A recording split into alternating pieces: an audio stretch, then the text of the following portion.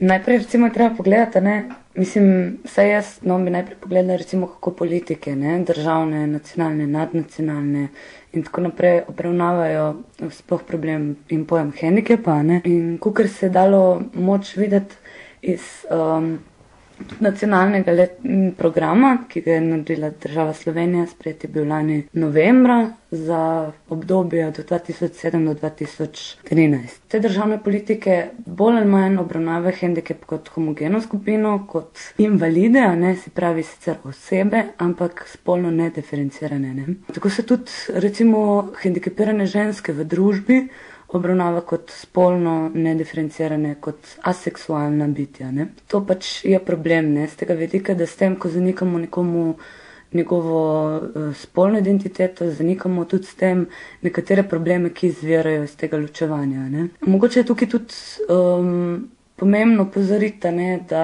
so hendikepirane ženske, vsaj dvakrat recimo diskriminirane, ne. To tudi, je poudarila recimo, kandidatka za predsednico Elena Pečarič. No, ona pravi, da, so hendikepirane ženske vsaj dvakrat diskriminirane. Prvič zaradi invalidnosti same, ker se pač obravnava se jih v tem medicinskem diskurzu, ne, kot invalidke, kot neke bolnice, ki so neozdravljive, ki jih je treba negovati. Po drugi strani pa tudi se izključuje kot ženske, ne. kako pa je z materinstvom pri hendikepiranih ženskah? Kako, kaj njim predstavlja samo materinstvo oziroma pojem materinstva in kako se tudi z njim soočajo? Recimo jaz sem delala raziskavo bolj v obliki intervjuja z enajstimi hendikepiranimi ženskami in iz intervjujev se je nekako videlo, da, da jim otrok veliko pomeni, ne. Da jim pomeni, neko v bistvu neki, v bistvu neko največjo srečo, ki se jim je zgodila v življenju, ne.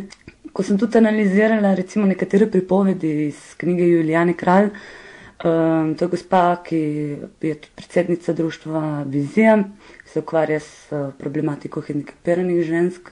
No, v glavnem tej knjigi, so, tudi nekatere ženske izpostavile vprašanje materinstva kot zelo pomembno, ne, kot nekaj, kar jih osrečuje, kar jih naredi prave ženske, ne. Nekako, interpretiram tako nekako, da je to materinstvo tudi, neka točka, ki jih spravi izven tega seksualnega sveta, ne, ki jim da neko identiteto, ne.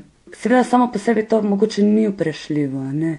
Da se one pač, jaz sem vesela, da se potem one vidijo kot ženske, ne, ampak je treba pogledati tudi na ta izključujoč vidik tega mit o materinstvu, ne, ki predstavlja lik matere kot edina in prava možna identiteta za ženske, ne. Ta mit je izključujoč, ne, ta identiteta je izključujoča predvsem za tiste ženske, ki ne morejo oziroma nočejo imeti otroka, ne. Iz tega vidika je pač problematično, ne. Družba nekako ne vidi hendikepiranih žensk kot mater, ne. Se jim nekako zanika to njihovo materinstvo, češ da so nesposobne in ne morejo skrbeti za otroka, ne. V takih primerih, mislim jaz recimo v teh primerih, ke sem jih jaz imela, do tega sicer ni, ni nihče posebej izpostavil, da se je recimo hendikepirani materi odvzelo otroka, ne. Ampak recimo poročila, nekaterih drugih držav kažejo na to, da, da se tudi v nekaterih primerih, hendikepiranim ženskam otroka vzame. Obstajajo tudi primeri, ke jih sterilizirajo, ne da bi vedele? Teh primerov je še veliko, ne, čeprav, so države, mislim, da vse države EU že nekako sprejele, da se tega ne sme početi, ne. Da se ne sme, prisilnih sterilizacij delati, prisilnih abortusov, ne. Tega se ne bi smelo, ne, ampak, še vedno so primeri, ne.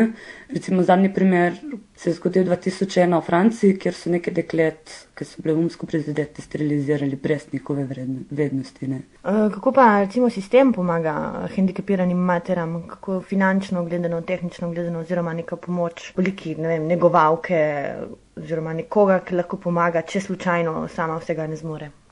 Imamo tukaj pri nas, organizirano?